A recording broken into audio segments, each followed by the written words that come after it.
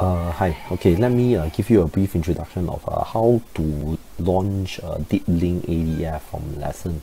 This is uh, quite different from the simple launching from uh, uh, from the group itself. Okay, so first the teacher must create a lesson on a particular topic. So, so in this case, let me use an empty template, custom template.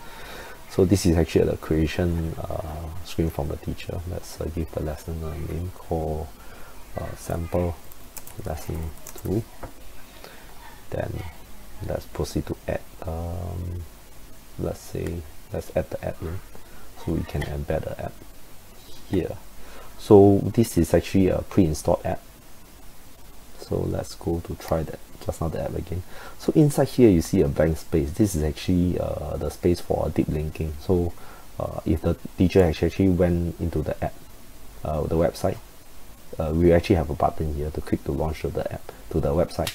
Then from the website you can actually have a curated uh, resources for teachers. From there we paste the deep link info here. And uh, the students will be uh, redirected there. So in this case uh, we just we don't put in it will be launched to a default launch page. Let's add yeah.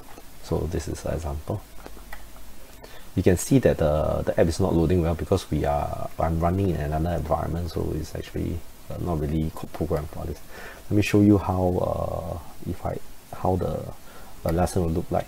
So for example if I add in a multiple choice question from the library. Maybe I add in some instructions. Uh, uh, probably students will actually complete this task and answer some questions. So let's uh, take a look at how a student will uh, view this lesson. This student view this is a example. So this is uh, like any uh, SLS uh, uh, assignment given to a student. So they start the assignment. So they answer a question or do or view a article then then or instructions. So from below here you actually can see the app live. Yeah in this case uh, yeah. They also can launch the app out. Yeah if needed. So this is from a teacher screen uh, okay. So why not we take a look at the student how will they uh, consume uh, how, how would they uh, okay now that we have created this lesson we need to assign out the lesson to a student. Okay so this part. Let me do assignment.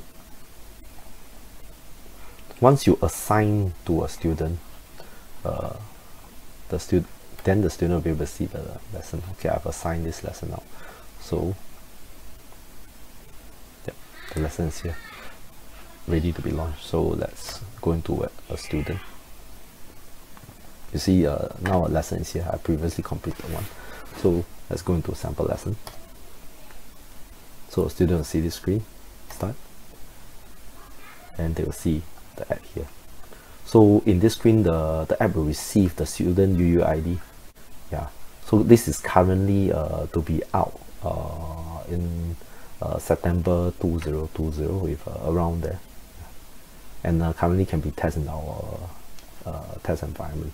This this this function is available both in LTI and GraphQL method. Maybe I tell you more using the slides. Okay this is a brief intro that's all